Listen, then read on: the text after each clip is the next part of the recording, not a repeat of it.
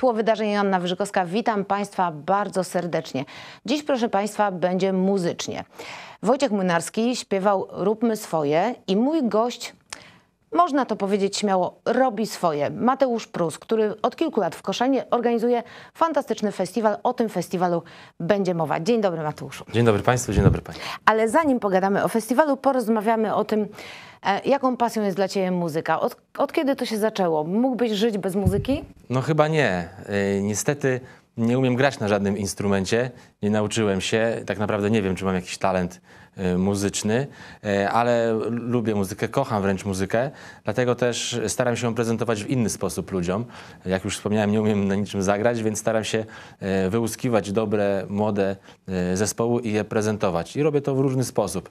Między innymi prowadzę audycje w Radio Kołobrzeg raz w tygodniu, a poza tym organizuję wydarzenia, koncerty i staram się odkrywać po prostu wspaniałe rzeczy dla publiczności. Czyli robisz to y, zupełnie przeciwnie niż jak mówił inżynier Mamoń w rejsie, w rejsie że y, zna, lubi to, co zna. A ty odwrotnie, nie znacie? To ja wam pokażę, że to jest fajne. Skąd pomysł, żeby w ogóle zorganizować w Koszalinie festiwal właśnie takich rzeczy, których my nie znamy?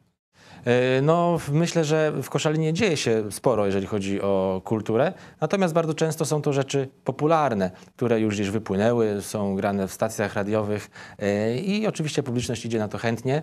Natomiast e, jest, polska muzyka jest na tyle szeroka i tak dużo się dzieje ciekawego, że również fajnie, żeby takie projekty były prezentowane w Koszalinie. W innych miastach takie rzeczy się dzieją, między innymi jest festiwal Spring Break organizowany od kilku lat w Poznaniu, gdzie grają zupełnie nieznane młode e, zespoły i ciężko tam dostać bilety. Kluby są wypełnione ludźmi. E, Widać, że jest taka grupa osób, która szuka nowych, świeżych brzmień, e, cały czas rozwoju w muzyce i coś takiego w mikro oczywiście skali chciałem sobie, zamarzyłem, żeby wprowadzić do Koszalina i rzeczywiście już piąty rok tutaj zapraszam wszystkich na Good Vibe Festival, czyli festiwal, który, który prezentuje bardzo nowoczesne podejście do muzyki, rzeczy jeszcze mało znane, e, ale na pewno na bardzo wysokim artystycznym poziomie. Jeśli mówisz o mikroskali, to ja mam wrażenie, że jesteś trochę za bardzo skromny, bo jak pamiętam ten pierwszy Good Vibe Festival w Domku Kata, z tego Tak. co pamiętam, to była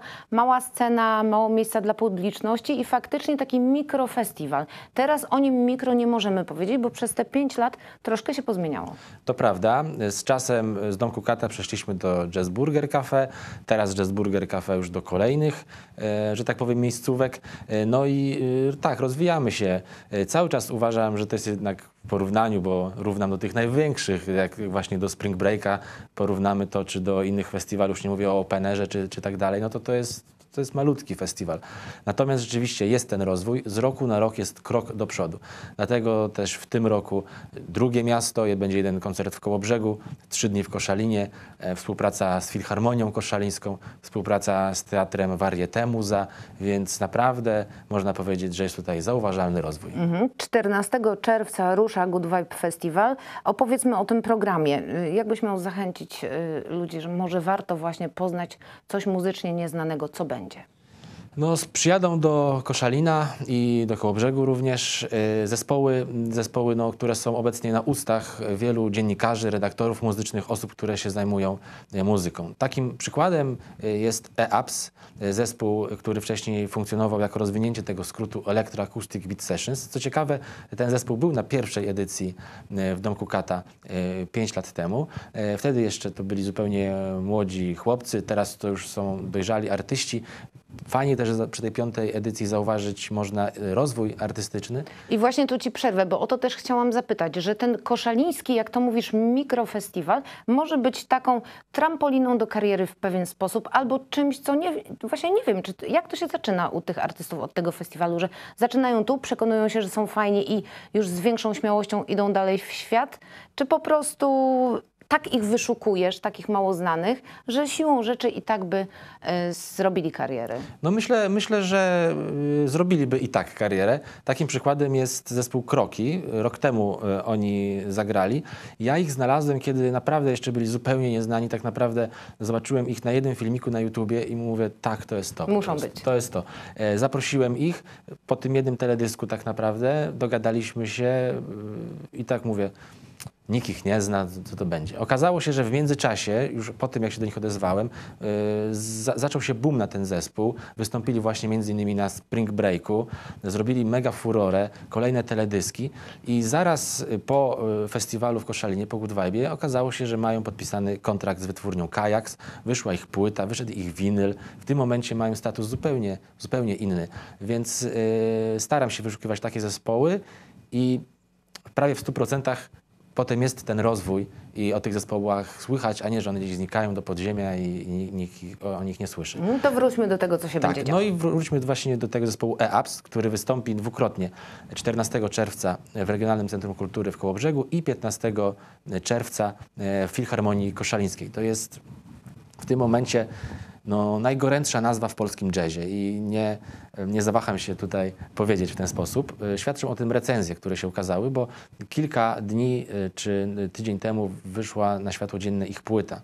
E, Płyta Repetitions Letter to Krzysztof Komeda, czyli już jak po tytule można wywnioskować, jest to hołd dla Krzysztofa Komedy, najwybitniejszego polskiego mm, kompozytora jazzowego. Otóż ci młodzi ludzie, którzy byli gdzieś tam wychowani w tradycji bardziej takiej czarnej muzyki, bardziej hip-hopowej, soulowej, wzięli na warsztat mniej znane kompozycje Krzysztofa Komedy, e, przearanżowali je na bardzo nowoczesny sposób e, i płytę, e, nagrali tą płytę, która niedawno się ukazała i po prostu same y, recenzje są mega pozytywne. Y, w polityce 9 na 10, gdzieś tam w innych branżowych y, pismach maksymalne noty. Wszyscy mówią, że to jest w ostatnich latach najlepsza rzecz, jaka spotkała polski jazz. I co jeszcze usłyszymy? I ten, i ten zespół właśnie wystąpi. Bardzo gorąco Państwa zachęcam, bo, bo to jest światowa rzecz. Tak naprawdę ten zespół, jak teraz się go nie zobaczy na żywo, to trzeba będzie jeździć za rok do Berlina albo do Londynu. Ja możemy się założyć, że tak będzie, bo naprawdę jest to światowa muzyka. Siedem osób, fantastycznych artystów na scenie. Kolejne dni to już są dni e, Warietę Muza e, i w, w piątek e, to będzie koszaliński zespół, zupełna premiera. E, Zespół Wash się nazywa. E, Są to artyści, którzy prezentują taki elektropop, trochę z domieszką funky, y, więc jestem bardzo ciekaw, jak się zaprezentuje również lokalna scena. No i po nich kolejne zespoły Sotei, czyli dwóch artystów Sobura i Tejelte połączonych w jeden projekt. Y, Tejelte to y, y, można powiedzieć artysta, muzyk, który gra na elektronice, na różnego rodzaju samplerach, natomiast y, Tejelte, natomiast Sobura, przepraszam, to perkusista, który gra z najwybitniejszymi artystami, między innymi w zespole Nosowskiej czy u Skubasa. Razem nagrali świetną płytę, po nich wystąpi Flu, y, zespół z Krakowa, który gra y, bardzo taneczną, żywiołową muzykę funk. Wydali też niedawno płytę, która została między innymi przez Hirka Wronę, o którym pewnie powiemy jeszcze, Tak, oczywiście. uznana za jedną z najlepszych płyt w ostatnim czasie w ogóle, jaka wyszła w Polsce. Niesamowita energia, y, ciężko wystać, bo przy tym się tańczy, więc, więc tutaj myślę, że w cudzysłowie muza zapłonie. No i dzień później, w sobotę ostatniego dnia, 17 czerwca, dwa zespoły. Najpierw Mulatte, y, polski artysta y, z afrykańskimi korzeniami, który od lat mieszka w Skandynawii, w tym momencie kończy Akademię Muzyczną w, Kopenhadze y, i gra y, naprawdę znakomitą muzykę. Jest jednoosobową orkiestrą, y, jest multi-instrumentalistą, gra na gitarze, basie, różnego rodzaju efektach i to wszystko zapętla, tworząc mega mm, wspaniałą jakość. Y, I na sam koniec zagra Bitamina, zespół, który również, do którego również odezwałem się wiele miesięcy temu, kiedy jeszcze był mało znany. Natomiast w międzyczasie, natomiast wiedziałem, że będzie o tym zespole głośno. I tak się stało. W międzyczasie wydali swoją płytę Kawalerka, która również, o której jest bardzo głośno, e, puszczają radiostacje, e, wspaniałe recenzje. Zespół też jest rozchwytywany, e, biletów brakuje. Grali niedawno w Krakowie, to musieli zagrać drugi koncert, bo takie było parcie publiczności, bo zabrakło biletów na ten pierwszy koncert, a było dwa razy więcej chętnych, więc, więc jest głośno o tym zespole i, i również można powiedzieć, że trafiliśmy w dziesiątkę. Tak więc to będzie wyglądało. Zestaw doborowy można powiedzieć, tak mnie zastanawia, trochę chyba ryzykowny, a może nie ryzykowny. E, Chciałabym, żebyś powiedział. E, Na jednym festiwalu jazz, funk, tu słyszymy tu do tańca, tu do posłuchania. O co chodzi? E, Co to znaczy? Że każda muzyka jest fantastyczna i wspaniała i e, nie warto w jakieś pojedyncze nurty iść i się zagłębiać, tylko szukać i patrzeć i, słuchać tego, co jest w ogóle dobre? Oczywiście, tak uważam. Y, Podział na gatunki jest podziałem bardzo umownym. Ja mam swój podział prywatny i on polega na tym, że muzykę dzielę na dobrą albo złą. Po prostu. Na coś, na coś wartościowego i na coś tandetnego. I tak jest podział muzyki. Natomiast ogólnie, jak się będziemy trzymać tych szufladek, y, no to, to, to nie do końca y, daleko zajedziemy, bo mm, muzyka mm, łączy po prostu wiele innych gatunków. Y, Staram się mm, wybierać takie zespoły, które są otwarte, których, które nie są właśnie w takich szufladkach, że ja robię jazz i w ogóle się nie obracam, nie patrzę na boki, czy tam ja robię tylko rap i mnie nic innego nie interesuje. Szukam artystów, którzy mają bardzo otwarte głowy, którzy czerpią z różnych, y, z różnych gatunków, dlatego tutaj mamy taki miszmasz. Bitamina to jest y, zespół, który również wyrósł z kultury hip-hopowej, natomiast teraz bardziej poszli w melodię, w piosenkę. E-Ups to też są młodzi ludzie, którzy wyrośli też w takiej tradycji hip-hopowej, poszli w jazz. Sotei to jest elektronika, ale też gdzieś tam z jakimiś naleciałościami e, innymi. To wszystko naprawdę, mm, zresztą tak było od samego początku, że Good Vibe Festival to jest festiwal łączący pozytywne brzmienia. I na deser, na koniec powiedzmy jeszcze, co łączy Hirka Wronę z Koszeńskim Festiwalem. to, że jest jego ambasadorem. E, napisałem do Hirka, napisałem mu całą ideę, historię od początku.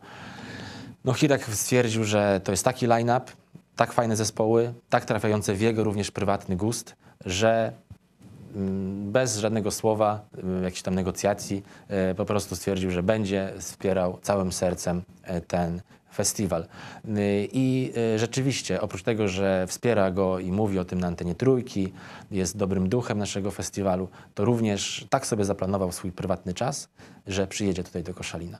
Y, I będzie zapowiadał koncerty oraz, co ciekawe, poprowadzi mm, audycję radiową właśnie stąd. I audycja będzie prezentowana na, w całej Polsce, na antenie ogólnopolskiej. Hirek Wrona jest no, dla mnie osobiście e, chyba największym autorytetem muzycznym. Człowiek o niesamowitej wiedzy, kolekcji płytowej, który wie wszystko o tak zwanych czarnych brzmieniach.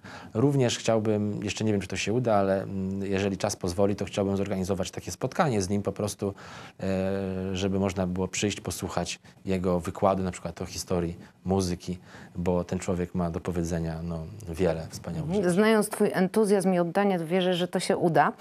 E, powiedzmy jeszcze na sam, samiutki koniec, bo, bo czas nas goni.